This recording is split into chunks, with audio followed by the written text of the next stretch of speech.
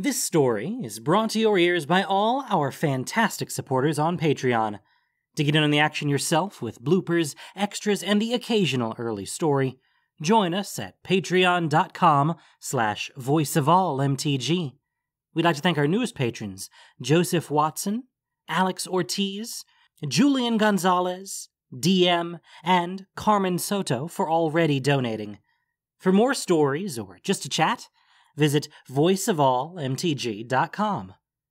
And now, Voice of All presents The Path to Opulent, Episode 2 of War of the Spark. Hekara was dead. That's all I knew. It was lucky, I guess, that I was standing between Teyo and Mistress Kaya, who were fending off the attacking Eternals. I don't think I could have fended off a house cat right then.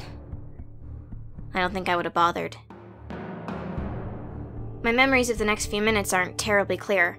I think Master Zarek said something about his beacon summoning more of those planeswalker types like him and Mistress Kaya and Mr. Jura and Mr. Beleren and Teyo.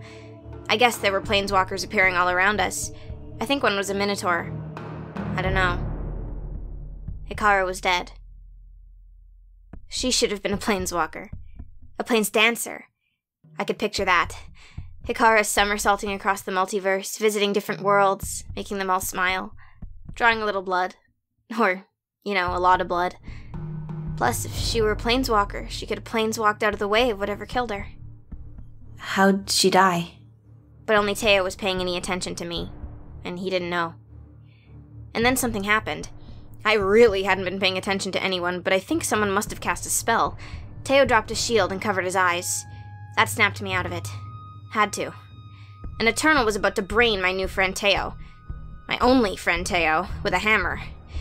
Furious, I leapt at it and stabbed it in the eyes. It tottered, then fell. I was seething. I don't ever remember being this angry. I was prime Gruul material now. My parents would be so proud. Not every planeswalker is gatewatch material, you know. And some are downright nasty. You have to assume that, nasty or not, most planeswalkers won't be big fans of Nicol Bolas. We need to split up. Spread out through the city. Save as many people as we can and rally every planeswalker we find. A bunch of them shouted. Aye! Kaya turned to Teyo and me. You two are damn useful. Come with me. Teyo, bless him, was a natural follower. And I wasn't gonna leave him alone to die like I had Hekara, so when he followed Mistress Kaya's order to follow her, I followed him. I guess it was a good thing. The streets were dangerous enough that it almost took my mind off Hekara for a little while. Almost.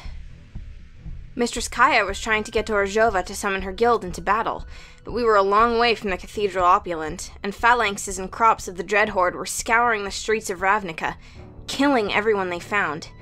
The saving grace was that, for whatever reason, the Eternals weren't entering any of the buildings. If folks stayed inside, they'd be safe. For now, at least.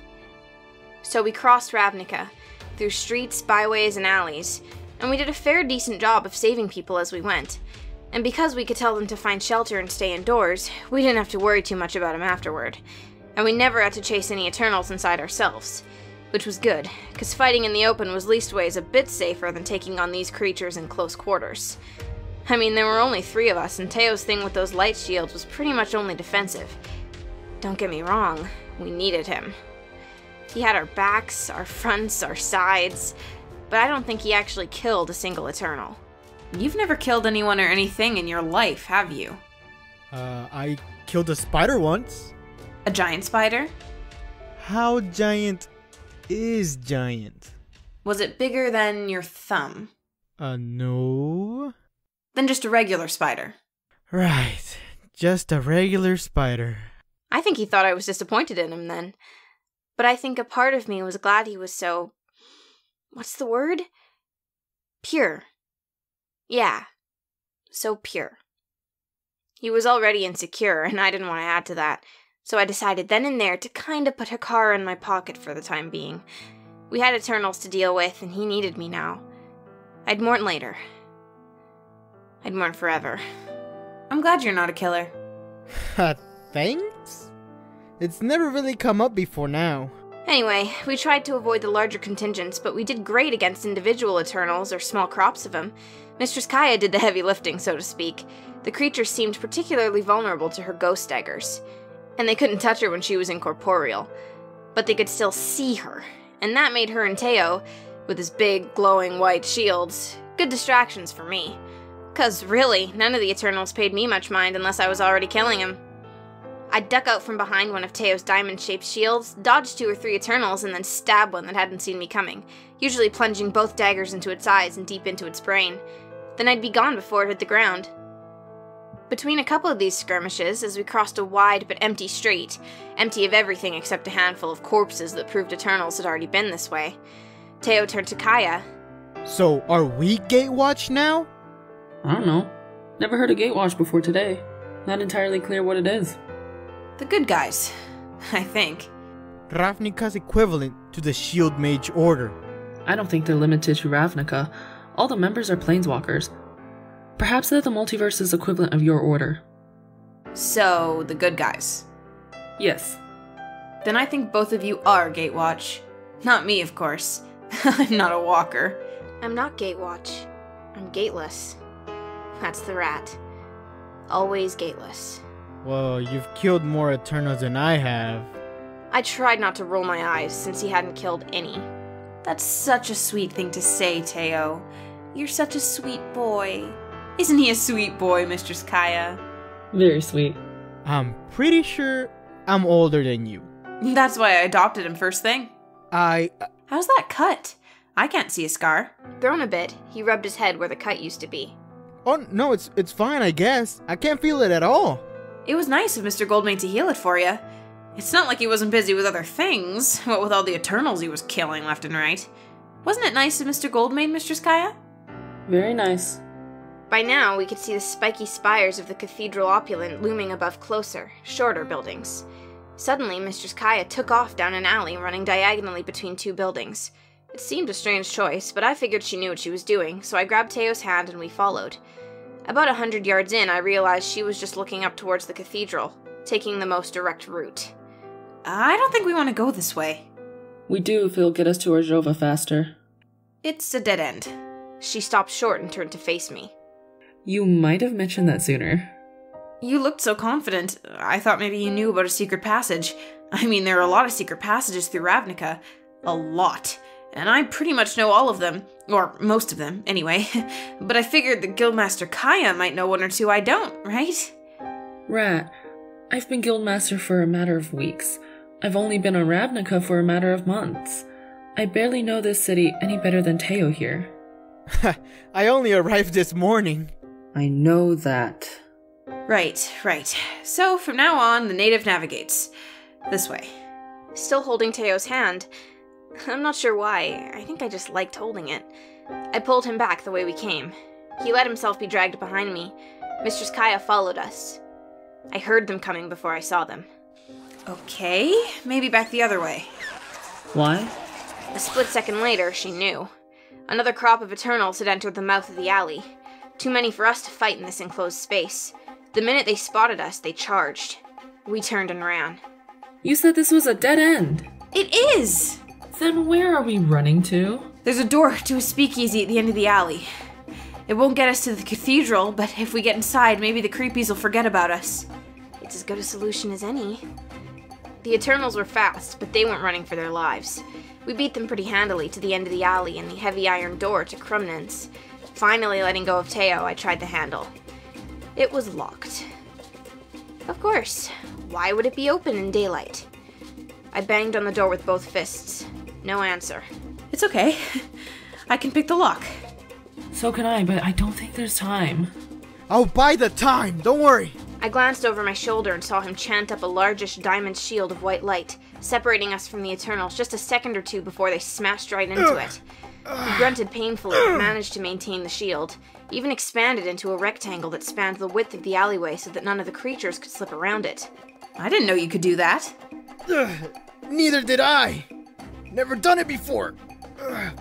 But I can use the alley walls to substitute the geometry. It's like leaning in. If you say so. I I could hear the weapons of the Eternals slamming against his shield, hear him chanting under his breath, and hear him grunt a little in response to every blow. I didn't know how long he'd be able to keep this up. Something clicked softly. Got it. I stood. I grabbed the door handle, but it still wouldn't budge. It's unlocked. Must be bolted from the inside. Leave it to me. She ghosted through the door. She wasn't gone long before her head ghosted back through. I'll get it open, but you need to hold out a bit longer. I looked back at Teyo. He said nothing, but his eyes squinched shut and he nodded once. He was no longer chanting, just gritting his teeth and leaning toward his shield with both hands, as a Lazotep Minotaur headbutted it over and over, while the rest of the Eternals smashed maces against it or the butts of their sickle-shaped swords. White light flashed at every impact. The shield wasn't going to hold. Mistress Kaya must have had the same thought. She ghosted her body back into the alley and drew her daggers, ready to fight. Fortunately, help came. Once again, I heard the newcomers before I saw them. Heard them whooping and hooting. I smiled and put a hand on Teyo's shoulder. Just a few more seconds. It'll be alright. Gruul warriors Gan Shokta, Raid, Akamal Cray, Govan Radley, Shiza and Jadira, Bombop, and others attacked the Eternals from behind, axes chopping through Lazotep. Tusks piercing, hammers raining down. Gan Shokta smashed two Eternals' heads together with enough force to shatter their skulls into Lazotep and bone fragments. The Eternals instantly forgot about us and turned to face the Gruul. Teyo slumped, dropping his shield. I stood over him protectively with my daggers out, while Mistress Kaya began attacking the creepies from behind. Domri cut off an Eternal's head with his long, weighted scythe. You must be Guildmaster Kaya, the almighty ghost assassin. Lucky for you, Domri Rade was here, enjoying the bloody chaos! Your Rade? I had to suppress a giggle, as Domri looked instantly insulted. Course I'm Rade, who else? Domri had always been a dumb little twit. I still couldn't believe he had replaced a fine warrior like Borborygmos as Gruul's new guildmaster, and I really couldn't believe Gan Shokta was following him. On the other hand, I was glad Domri had let everyone here when he had. I'm grateful. Damn right you are. By this time, most of the Eternals were in pieces on the ground. Domri snorted and shouted to his warriors.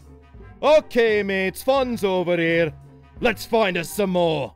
The Gruul started to follow him back up the alley, Gan Shakta taking up the rear. Unfortunately, one of the Eternals wasn't quite dead enough. It was missing an arm, but that didn't seem to trouble it much, and it leapt to its feet with a sword in its remaining hand, prepared to stab Shokta in the back. Teyo reacted even before I did, reaching out a hand and launching a small but solid sphere of white light at the back of the creature's head. It impacted hard, and the Eternal stumbled briefly, making just enough noise to alert Shokta to the danger. He turned in time to see Teyo hit the creepy with another sphere. Then Mistress Kaya was on the thing, stabbing up into its guts with both her knives. The Eternal was dying, but didn't seem to know it yet. It was still swinging its sword at Gan Shokta. So I jumped on the creepy's shoulders and stabbed my daggers down into its eyes and deep into its skull. It collapsed under me. Gan Shokta frowned. I knew he hated being saved by outsiders. With some reluctance, he grunted thanks to both Mistress Kaya and Teyo. Ignoring me, he turned and trotted to catch up to Domri and the rest. Who was that? The big guy? That's Gan Shokta. My father.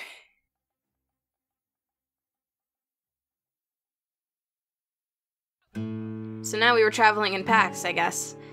Me and Teyo Verada and Mistress Kaya were now in the company of Gan Shokta, the ogres Govan and Bombop, Akamal, Shiza and Jadira, the Viashino twins, and a handful of other Gruul warriors, shamans, and druids, all led by Master Domri Rade. We soon ran into a phalanx of Eternals, and midway through the fight, the enemy got all sandwiched between Simic on the left and Izzet on the right. Who are they? I nodded left. Those are Simic Combine forces. Terraformers, super soldiers, and merfolk led by Biomancer Vorel. Then I nodded right. And those are Izzet League mech mages. That's Master Zarek's guild, led by his second in command, Chamberlain Maree. Wait, which one's the Maree? The Goblin. Okay. I'm gonna test you on all these names later. He shot me a panicked look before he realized I was teasing him. Then he glared comically. I think he likes it when I tease him, you know? We made short work of that phalanx, and now we were three guilds strong, but the pack just kept growing. Another battle brought more help. Planeswalkers this time, a merfolk woman named Kiora from a world called Zendikar, and a young human woman named Samut from some place called Amonkhet, which apparently was where all these Eternals originally came from. You couldn't just keep him there? She ignored the comment and me. I guess she was a little too busy fighting and mourning. Mourning and fighting. She knew the names of every single Eternal she killed. Knew them, I guess, from when they were her friends.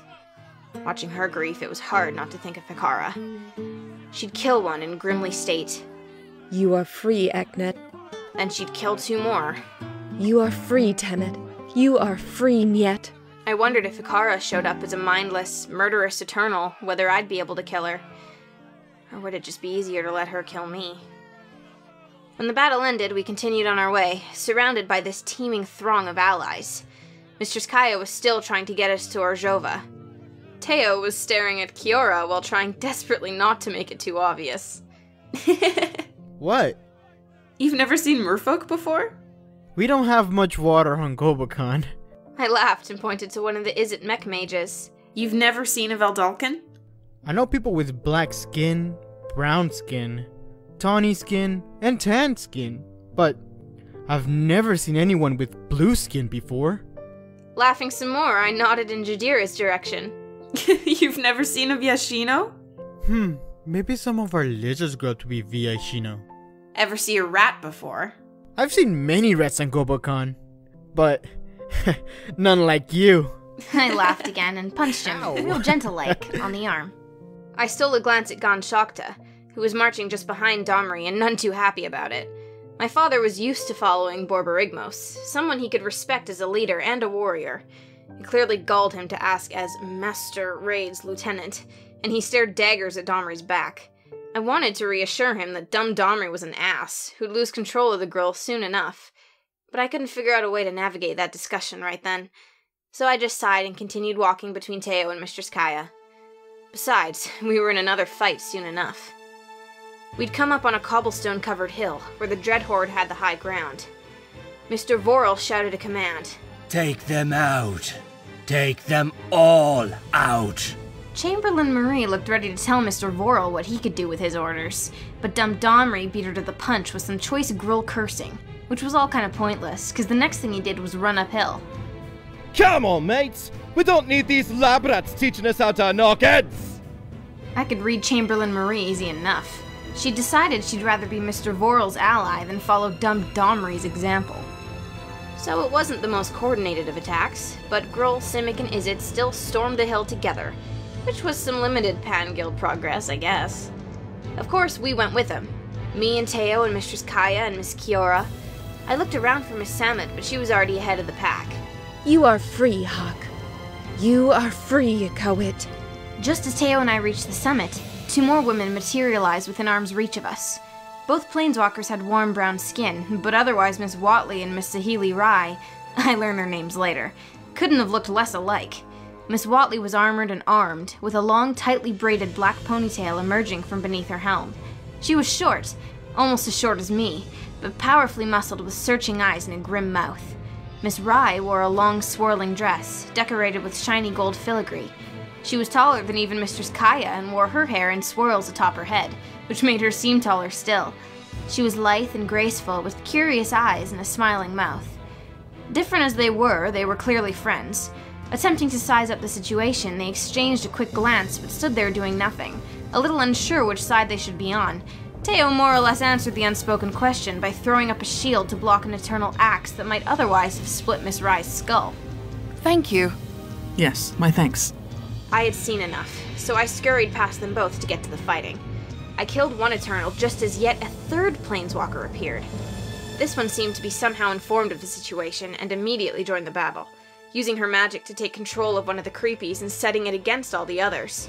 She had long, honey blonde hair, a blue white hooded cloak, and a long crook staff. She told Miss Kiora that her name was Miss Kasmina, or Miss Casmiri, or Mistress Casmagorica, or something. Okay, it wasn't Mistress Casmagorica. But yes, even I was having trouble remembering everyone's name by this time. I lost track of her soon after, but she did some decent damage with her enthralled Eternal right then and there. So did Miss Huatli, who took to the killing of creepies quite well. And that shiny little golden hummingbird that Miss Saheeli released sped right through the forehead of one Eternal and emerged out the back of its skull. The Eternal staggered and dropped. I wanted to catch and keep that useful shiny, but the bird never slowed.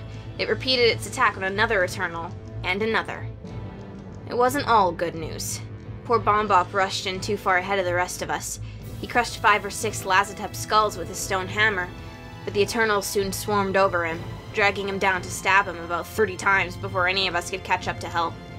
There was also a Simic shaman, I never did get her name, who took a moment too long to cast her spell and wound up beheaded. The fallen head managed to croak out the last few necessary syllables before expiring, and the creepy that killed her exploded in a shower of Lazotep and goop. So, yeah. Setbacks, you know? But the battle was over soon enough. We'd won, and not a single Eternal remained alive, or even undead. Our pack paused to catch our collective breaths, and then those breaths were stolen away at the sound of a remote but ear splitting crack. We all turned, and from the top of that hard won hill, we could see four immense Eternals emerging from the tear in the world to tower over the distant 10th District Plaza. Whoa. Big. Son of. What are they? They are our gods. But Bolas killed them, or had them killed. Now, they are his. His god Eternals. Well, sure. Of course. That's what the day was missing. God Eternals. We watched in silence for a bit as the four god creepies tore apart what appeared to be Vitu-Ghazi, which was strange and horrific for all sorts of reasons, not the least of which was that I couldn't figure out how the World Tree had gotten to the plaza from its home in Selesnyan territory in the first place. I felt like crying again. And then I felt like hitting Dumb Domri when he actually cheered. You see that? That was V2 they trashed! Croc, they taught those Selesnya troops a lesson. A couple of his party boys nodded or grunted their agreement, but the rest of us just stared at him, stunned. Gruul? We're fighting on the wrong side. This dragon's shaking things up. He'll tear the guilds down, he'll tear Ravnica down. Isn't that what we've always wanted? When the guilds fall, chaos reigns. And when chaos reigns, the Gruul will rule. You hear? We're joining the dragon. I fought the urge to stab dumb Domri in the eyes by looking to see what my father would do. Gan Shokta did not disappoint. Rade, you'd serve that master? Partner, mate, not serve. You don't know the difference, boy. You're no clan leader. You're a follower. I'm going back to Borborygmos. Dumb Domri looked stunned. Gan Shokta scowled down at him, then turned and walked away. I watched him go, full of Gruul pride. Well, it's been a Gruul kind of day for me. Teyo looked at me. It occurred to me that he thought Gan Shokta should have paid more attention to his daughter. I shrugged. Teyo's a good boy, but he didn't understand my family situation at all. Which is totally understandable, because it's kind of odd, and I hadn't actually told him anything about it. I wasn't used to telling people about it, frankly, and I wasn't quite sure how I'd even go about it. But I figured he'd catch on eventually. Forget Gan Shokta! He's an old droop too!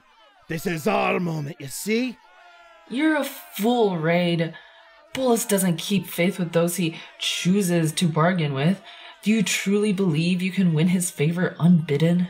But Dumb Domri ignored her, leading his warriors downhill toward the plaza. Help's on the way, dragon! We'll knock 'em all down together! Kaya looked angry enough to follow and drag him back, and I was angry enough to cut out his fool tongue. But another crop of Eternals was coming up the other side of the hill.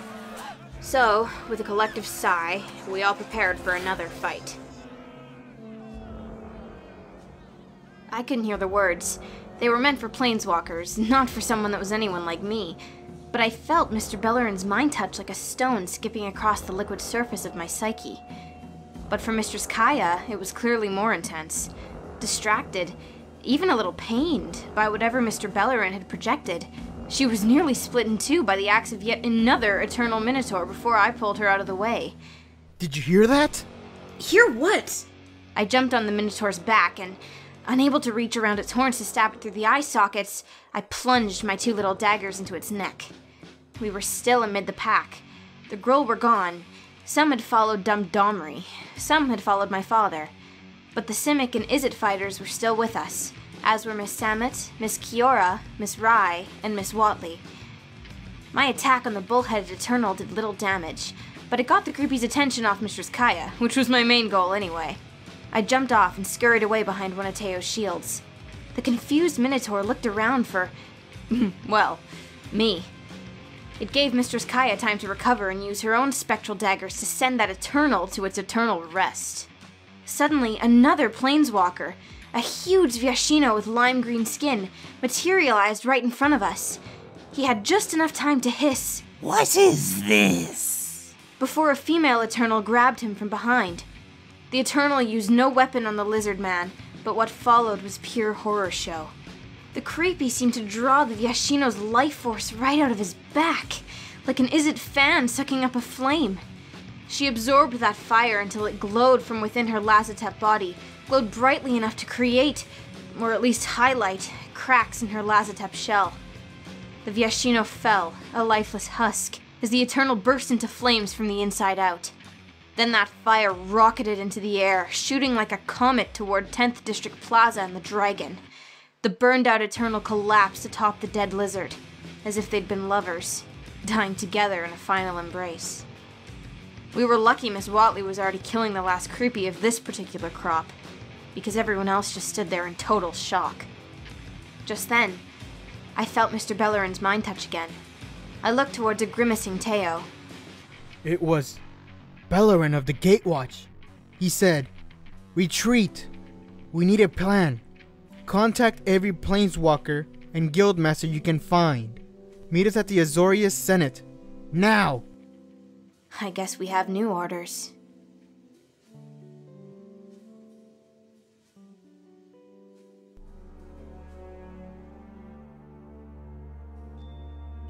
Thank you for listening to this production of Voice of All. As listener supported entertainment, we rely on you not just for the voices of the characters, but also to keep us going and growing. If you enjoyed what you heard, please support us by rating and reviewing us on iTunes or following us on Spotify, SoundCloud, Stitcher, and Google Podcasts, or just plain sharing with your friends. You can also support us financially on Patreon for exclusive perks.